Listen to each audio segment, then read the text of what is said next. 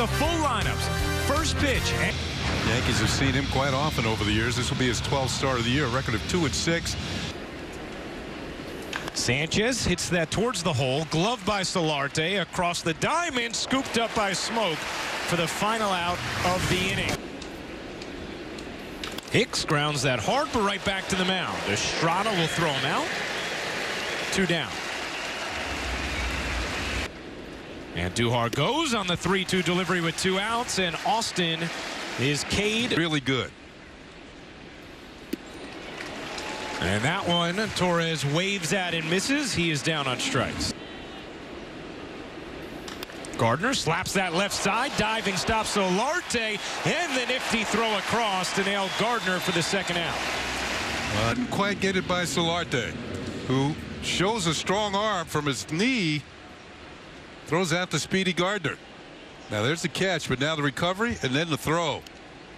Got him back with it. Swing and a miss.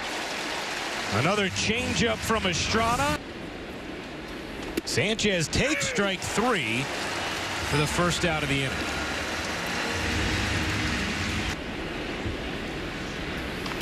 Cued back to the mound. Estrada fields, tosses, and ends the inning.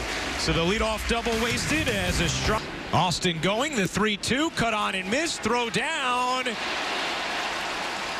In time, a strike him out, throw him out, double play as Tyler Austin is gunned down by Russell Martin at second.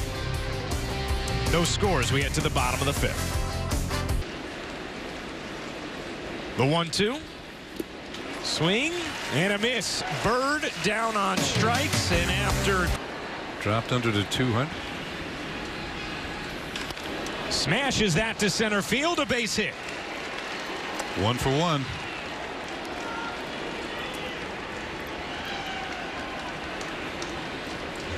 May. An outstanding start here to kick off June as Estrada has pitched into the seventh without allowing a run thus far. He is responsible for Sanchez, and his evening is done. Yankees with one on, nobody out, trailing by one in the seventh.